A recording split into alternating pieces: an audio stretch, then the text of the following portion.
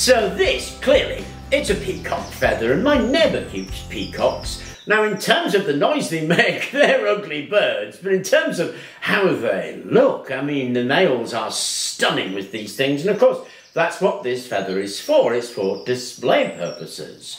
But feathers come in all shapes and sizes and do many different things and when we think of a feather, at least when I think of a feather, I think of aerodynamics and flight. And when you're looking for inspiration, of course, nature is a great place to look. And looking at things like spinning jennies, the tubercles on the fins of whales, the barbs on the hooks of owls, there are just inspirations absolutely everywhere. And of course, the feather, or at least the flight feather, can be an inspiration for a wind turbine blade. Now, if you're looking for that kind of thing, it's astonishing what you can find.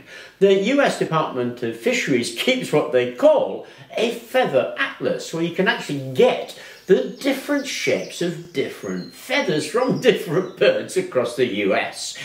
Why they would do such a thing, I don't really know. But as a resource, it is actually available, and it's astonishing what's available when you look. And of course, I was thinking about wind turbine blades and feathers, and whether the aerodynamics of a feather would do anything in a wind turbine blade. And of course, the thing I have to do now when I think of such a thing, because it's me, is I have to make that. And the question is, how do you go about turning a feather into a wind turbine blade?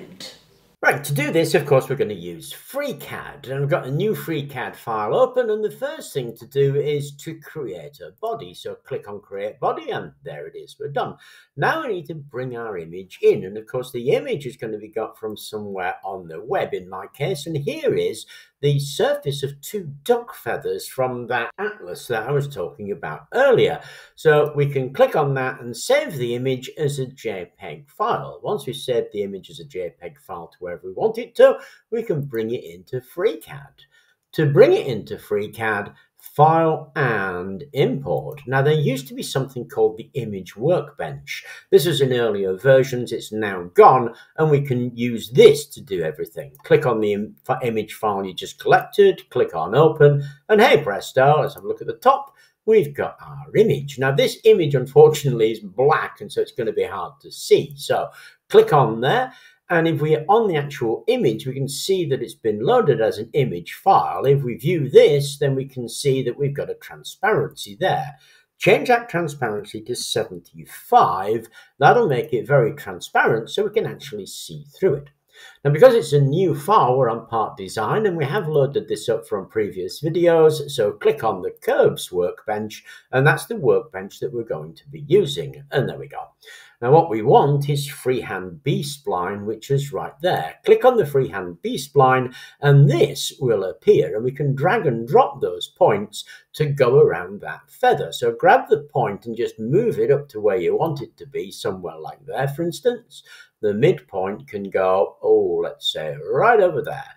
And this point is going to go at the beginning of the feather.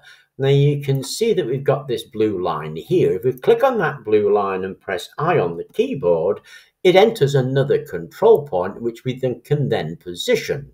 So if we position that down there and we keep on going, what we can actually do is create a curve that is the outline of this feather.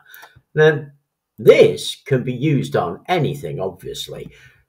I'm doing a feather, but if you want to do anything else that you've taken an image of that you pull in, then you do exactly the same sort of stuff in order to be able to draw around any image you want. We keep on doing that, clicking on the spline line and then hitting I to get as many of these points as we actually need to create our curve. Once we're happy with our curve, there we go, then we can carry on curving round the rest of the feather until we've basically drawn the outline of the feather. I've drawn the two sides of the feather and I've drawn a centre line, well, it's not centre, it's off centre where the quill actually runs. Once we've done that, if we hide the picture, we can see that we've got our feather image drawn. So for the second part of this, of course, what I want to do is bend that feather shape into an airfoil, and I could bend the shape. Equally, however, I could choose an NACA airfoil to copy that airfoil shape onto the feather shape. So I did exactly the same thing. Chose an NACA airfoil, imported it into a FreeCAD, and drew around it with two B-splines.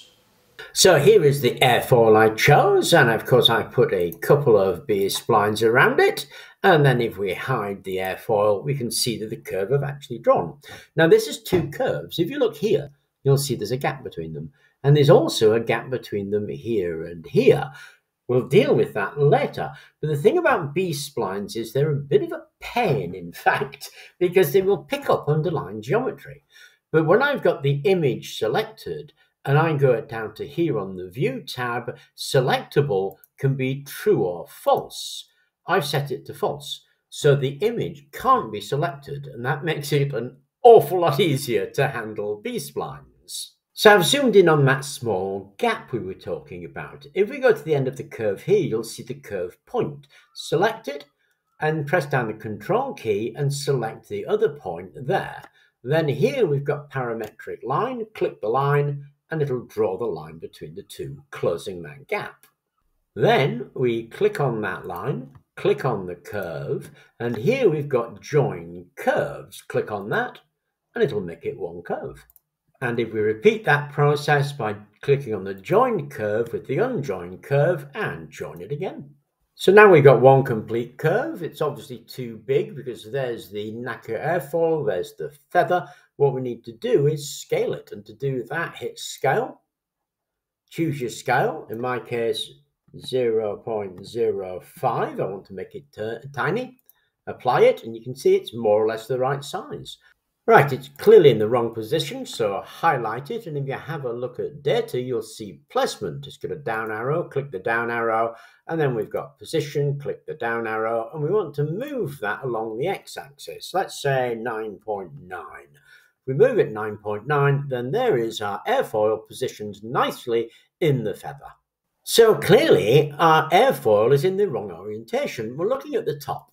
If we look at the front, we'll see it's actually flat. It's on the same plane as the feather, which is a bit of a pain because it doesn't have an associated sketch. However, if we highlight it, go to Edit and Placement, we'll get this box here. What we need to do is change the active axis. At the moment, it's Z, so it's X, Y, Z. If we change the axis there to 1 and the axis on Z to 0, then our x-axis becomes the axis about which it will rotate. And we want to rotate it about the x-axis 90 degrees, and we can apply that, and okay. And we'll notice it's now viewed as a single line from the top, and if we rotate it around, we can see we've got it where we want it to be, that is, in the middle, in the right orientation of the feather. Of course, the feather only looks like it's in the right place, but the feather itself needs rotating. So we do exactly the same thing, but this time rotate the feather by 8 degrees. So you see it's 8 degrees off horizontal, and it lies nicely now on that NACA airfoil that we created. And so we've got our drawing of the feather in an airfoil shape. Okay, that was a fair bit of tedious mucking about to get here, but we've got our shape, and the next bit is actually magical. I think the whole thing's worth it just for the next bit. Now, we've been on the curves workbench for quite a while. What we need to do is change to the curved shapes workbench. Now, this is another workbench that you probably don't have installed, and you should you, uh, install it using the add-ons manager that you can find under Tools. There it is, add-on manager. And just hunt for curved shapes workbench. This one works mm, in order. You have to do things in order. So the first thing to do is to select the shape you want to extrude. And of course, in this case, it's our airfoil. Hold down the key and then uh, select the shape. Remember, we went to the trouble of making this two curves. Select the shape that you want to extrude to. Second, and then it'll extrude this airfoil along this curve here, or rather along our feather, and all we do is hit that. Now, magically, you don't see anything, which is not very good, but click Curved Array and have a look under here. Under Data, what you'll see is Solid set to false. You need to set that to true. Set it to true, and then recalculate with this button here, the refresh button, and the solid will appear. There it is. Now, it's not very good in following these lines, and that's because of the number of items. What it's done is created four little slices through here and approximated to those slices, and it's not giving a true value. We need to increase that. If we increase that to say something like 15, then we can see it's got a much better following than it had before. Let's make sure that is 15. There we go. And it follows it much better. And we can spin that round and have a look at it a little bit to see where we are with it. And we can increase that some more if we want. Let's try 25. Oh, that's so cool. Look at that. And after we print it out, there it is. Now it's clearly a little bit too small, but we've already done scale down and scale up is just the reverse of that. Highlight the whole thing, click on scale, scale up. And clearly I need two more in order to actually make a wind turbine out of this. But that idea of being able to take a real life feather, draw around it and create this wind turbine blade, I thought was kind of cute. And I have no idea how it would perform, but I also think it's kind of interesting because we can give that a go and see if our bird feathered wind turbine is going to do something really interesting. I mean, I hope it does. I don't know if it will do, but we'll soon find out. Now, I wanted to go through all of that because when you look at FreeCAD, you tend to think only really of geometric drawings, but using the curves workbench and the curve shape workbench, making these much more organic shapes actually isn't that difficult at all. It's quite a beautiful thing, the curves are really nice and I'm quite pleased with it. So I hope the video is useful to people, I hope you found it interesting, thank you very much for watching and please do remember to like and subscribe.